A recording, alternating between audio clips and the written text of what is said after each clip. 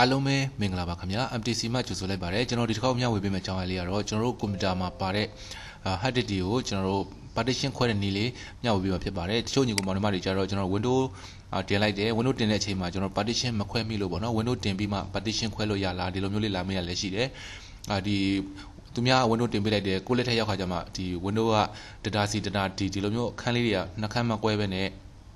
တခန်းနဲ့ဖြစ်နေတဲ့အချိန်မှာပြန်ခွဲကျင်တယ်ဆိုလို့ရှိရင်လည်းဒီလိုမျိုးနီးလေးနဲ့ခွဲလို့ရပါတယ်နော်ဒီနီးလေးကလည်းကျွန်တော်ရဲ့ MTC YouTube channel မှာရော MTC Facebook page မှာရောလာပြီးတော့မေးထားလေတော့များနေပေါ့နော်အဲဆိုတော့ကျွန်တော်ဒီတစ်ခါတော့အားလက်တဲ့ချိန်လေးဖြစ်တဲ့အတွက်ကြောင့်မလို့ဒီ video file လေးကိုတင်ပေးလိုက်ပါတယ်ခင်ဗျာဟုတ်ကဲ့ပထမဆုံးကျွန်တော်တို့ဒီ this PC ဆိုတဲ့ software လေးမှာ right click နှိပ်ပါမယ်နော် this PC ဆိုတဲ့ software လေးကို right click နှိပ်ပါမယ်အရင်ဆုံးကျွန်တော်ဒီ this PC လေးဖွင့်ကြည့်လိုက်မယ်နော်ဒီမှာကျွန်တော် partition ဘယ်လောက်ရှိရလဲဆိုလို့အရင်ကြည့်လိုက်မယ် ဒီမှာတော့ကျွန်တော်မှာတော့နှစ်ခန်းရှိတယ်ပေါ့နော် local dex ရဲ့ data e ရဲ့ဆိုပြီးတော့ကျွန်တော်နှစ်ခန်းရှိပါတယ်ဒီထက်အကောင်လေးတွေကိုကျွန်တော်တို့ကပြန်ပြီးတော့နောက်ထပ်အခန်းလေးပြန်ခွဲမှာဖြစ်ပါတယ်နော်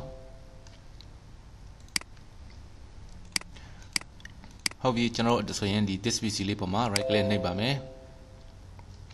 ဒီ this pc လေးကို right click နှိပ်ပြီးတော့မှကျွန်တော်တို့ဒီ manage ဆိုလေးကိုတစ်ချက်နှိပ်ပါမယ်ခင်ဗျာနော် โอเคဒီလိုမျိုးလို့ box ကလေးတခုထပ်ကြလာလိမ့်မယ်ဒီထဲမှာမှာကျွန်တော်တို့ disk management ဆိုတာလေးကိုတစ်ချက်နှိပ်ပါနော်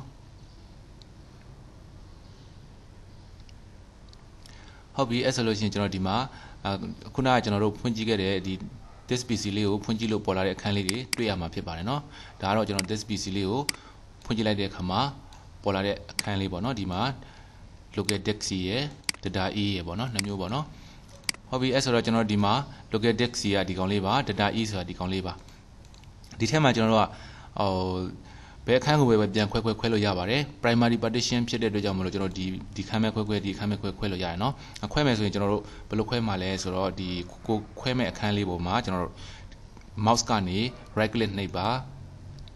ပြီးတော့ကျွန်တော်ဒီမှာ swing value ဆိုတာလေးကိုနှိပ်ပါเนาะ swing value ဆိုတာလေးကိုနှိပ်ပါ ပြီးလို့ရှိရင်ကျွန်တော်ဒီမှာဒီလိုမျိုးလေးပေါ်လာလိမ့်မယ်အဲဒီထဲမှာဒါသူရှိတာကတော့ကျွန်တော်တို့မဂါဘိုက်နဲ့ပြပေးတာဖြစ်ပါတယ်เนาะမဂါဘိုက်နဲ့ပြပေးတာဖြစ်ပါတယ်အလုံးပေါင်းကျွန်တော်တို့6သိန်းနဲ့4345ပေါ့နော်မဂါဘိုက်ရှိတယ်အဲ့မဂါဘိုက်ကိုကျွန်တော်တို့ကဘလောက် partition ပြန်ခွဲချင်တာလဲပေါ့နော် partition ပြန်ခွဲချင်တဲ့အရေးအတွက်ကိုကျွန်တော်တို့ကဒီမှာရိုက်ထည့်ရမှာဖြစ်ပါတယ်အာဥမာကျွန်တော်ဒီမှာတဝက်လောက်ခွဲမယ်ဆိုလို့ရှိရင်32ပေါ့နော်ဒီမှာကဏ္ဍ6လုံးရှိတာဖြစ်တဲ့အတွက်6လုံးဆိုတာလေးကိုတခြားလေးမှတ်ထားပါ အဲဆိုတော့ကျွန်တော်တို့32နောက်က3ည4လုံးထည့်လိုက်မယ်နော်1 2 3 4โอเคဒါဆိုလို့ရှိရင်ခန့်မှန်းခြင်းနဲ့တဝက်ပေါ့နော်အတိအကျဆိုလို့ရှိရင်တော့ကျွန်တော် calculator လေးနဲ့ပြန်ပြီးတော့ဒီ megabyte လေးတွေပြန်တွက်မယ်ဆိုတော့ရပါတယ်နော်အာ1024 megabyte ဆိုလို့ရှိရင် 1GB ရှိတယ်ပေါ့နော်အဲဆိုတော့ကျွန်တော်တို့ပြန်ပြီးတော့ဒီ megabyte လေးတွေကိုပြန်ပြီးတော့ calculator လေးနဲ့တွက်လို့လည်းရပါတယ်ဟုတ်ပြီနော်အဲဆိုတော့ကျွန်တော်ဒီမှာဒါခန့်မှန်းခြင်းနဲ့တဝက်လောက်ပဲထားလိုက်မယ်နောက်ထပ်တစ်ခန်းခွဲဖို့ပေါ့နော်ဒီမှာကျွန်တော် swing ဆိုလေးကိုနှိပ်ပေးလိုက်ပါနော် โอเคကျွန်တော်ဒီမှာ312 GB ပေါ့နော်312 312.50 GB ဆိုပြီးတော့သူကဟိုပြန်ပြီးတော့အခန်းလေးကွဲလိုက်ပဲဖြစ်ပါတယ်โอเคเนาะဒါပေမဲ့လို့ဒီအခန်းလေးကကွဲနေပြီမဲ့လို့ကျွန်တော် this PC ထဲမှာသွားဖွင့်ကြည့်လိုက်မပေါ်သေးဘူးเนาะ this PC ထဲမှာသွားပြီးတော့ဖွင့်ကြည့်လိုက်မပေါ်သေးဘူးဘာဖြစ်လို့မပေါ်တာလဲဆိုလို့ရှိရင်ကျွန်တော်ဒီမှာ unlocated ဖြစ်နေလို့မပေါ်သေးတာပါဒီကောင်လေးကိုကျွန်တော်တို့ unlocated ဖြစ်နေတာဟာကိုကျွန်တော်တို့ပေါ်အောင်ဘယ်လိုလုပ်မလဲဆိုတော့သူ့ပေါ်မှာ right click နှိပ်ပါ အဲ့ဒါပြီးလို့ရှိရင်ကျွန်တော်ဒီမှာ new simple value ဆိုလေးကိုတစ်ချက်နှိပ်ပါနော်ပြီးရင်ဒီမှာ next ကိုနှိပ်ပါ next ကိုနှိပ်ပေးလိုက်ပါအဒီမှာကိုကအခုပြန်ပြီးတော့ခွဲလိုက်တဲ့အခန်းလေးကို D လို့ထားခြင်းသလား E လို့ထားခြင်းသလား H လို့ထားခြင်းသလားကိုကြိုက်တယ်လို့ထားလို့ရပါတယ်အခုနကကျွန်တော် E လေးရှိပြီးသားဖြစ်တဲ့အတွက်ကြောင့်မလို့ဒီမှာ data D လို့ပဲထားလိုက်မယ်နော် D လို့ပဲထားလိုက်မယ်ပြီးရင်ကျွန်တော် next ကိုနှိပ်ပါဟုတ်ပြီဒီထဲမှာလည်းဒီတိုင်းလေးပေါ့နော်ဒီမှာ new value ဆိုတဲ့နေရာလေးမှာနာမည်လေးပြောင်းလို့ရပါတယ်ကိုက new value နာမည်ဆိုတော့မကြိုက်ဘူး data လို့ပဲထားခြင်းနေပေါ့နော် DA DA data လို့ပဲထားခြင်းနေဆိုရင် data လို့ရေးထည့်လိုက်ပါပြီးရင် next ကိုနှိပ်ပါ